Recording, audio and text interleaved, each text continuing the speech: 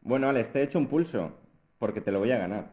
O sea, decir que Negredo y, Alcácer no pueden jugar juntos es, es algo increíble. Evidentemente no pueden jugar, no, es que deben jugar juntos.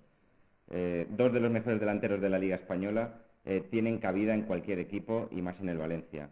Lo que se puede discutir es si pueden jugar juntos o si deben jugar juntos con el sistema actual, con el 4-3-3, cosa que veo complicado, evidentemente, pero sí que es verdad que la idea que manejaban uno desde un principio era que era jugar con un 4-4-2, con, dos, con, dos, con dos medios... Eh... ¿Acabas o vamos a por las uvas eh, para comerlas aquí de Nochevieja? No, no, déjame que, que primero... Te voy a decir una cosa, poder pueden jugar juntos. De hecho, lo han hecho. En algún, minuto, en algún partido, en algunos minutos, ya han compartido equipo.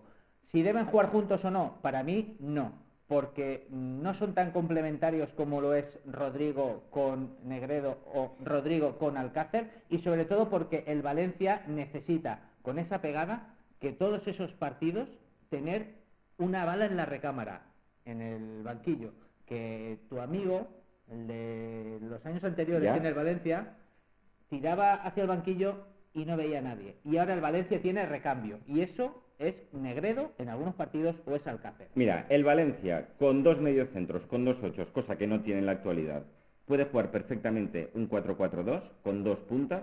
pero como no lo tiene, tu argumento se cae por su propio peso. La llegada de Enzo Pérez, como se presupone para el mercado invernal, tiene que ser, tiene que ser fundamental para que podamos jugar con los delanteros, porque estamos viendo como el Valencia con un punta nada más no tiene llegada a gol y no tiene gol. Escúchame, cuando quedes con Scarlett Johansson, te piensas el menú, pero como no has quedado, no hables de utopías.